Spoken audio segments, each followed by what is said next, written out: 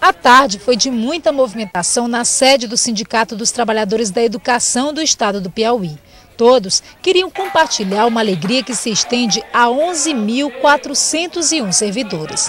Mediada pelo setor de precatórios do Tribunal de Justiça, a conciliação entre professores e governo pôs fim a uma disputa judicial de 19 anos. Categoria não recebia o salário mínimo no vencimento é, do, dos trabalhadores em educação. Ingressamos com uma ação, ganhamos. O precatório, é, a origem dele é essa diferença que o governo deixou de repassar para a categoria.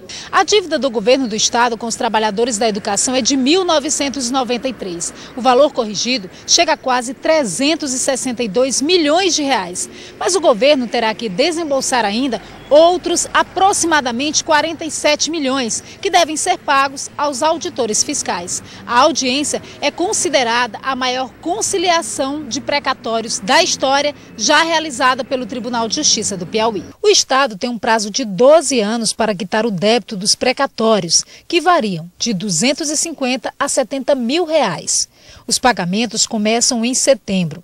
Os primeiros beneficiados são servidores que receberão até 15 mil reais em parcela única. Em outubro, serão pagos quem tem doenças graves.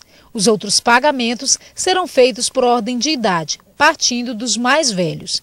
Conceição não está na lista de prioridades, mas com 27 anos trabalhando no Estado, demonstra a felicidade de quem nunca perdeu a esperança e já tem planos para os 33 mil reais que deve receber dos precatórios. Ajeitar a casa, é, dar uma entrada no carro, eu já estou pagando, né? Então com o dinheiro já dá para dar entrada.